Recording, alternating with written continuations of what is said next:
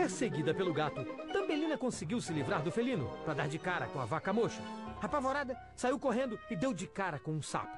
Acabou caindo no lago, onde foi engolida por um peixe, que tio Barnabé acabou pescando para comer no almoço.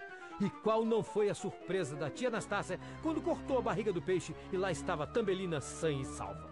Mais uma vez, o Lazarilho foi parar na caverna da Cuca. Só que desta vez, o espertinho acabou muito mal. A bruxa transformou ele num penico. E depois mandou o pesadelo para o sítio pegar a Tambelina.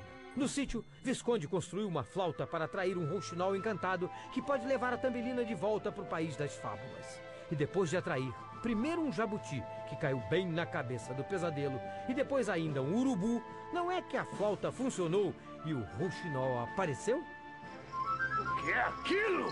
Pela lança de Cid Mamed! Funcionou! Eu consegui! Valeu, Visconde! Ele veio buscar Tambelina. Eu vou voltar pra casa,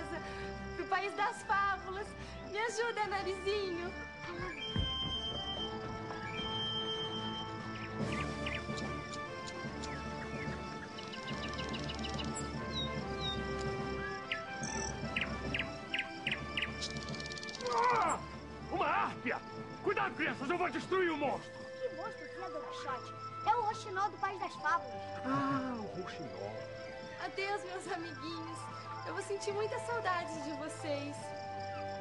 Vem visitar a gente quando puder, Tambelina.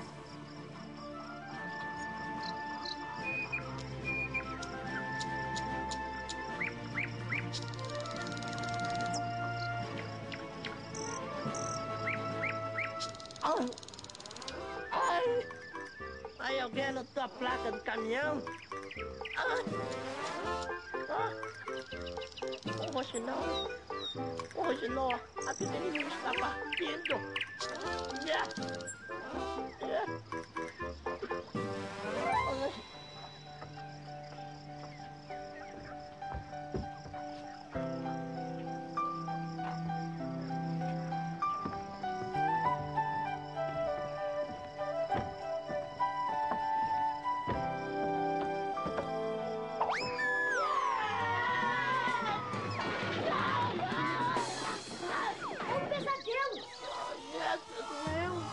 E? O que me falta acontecer?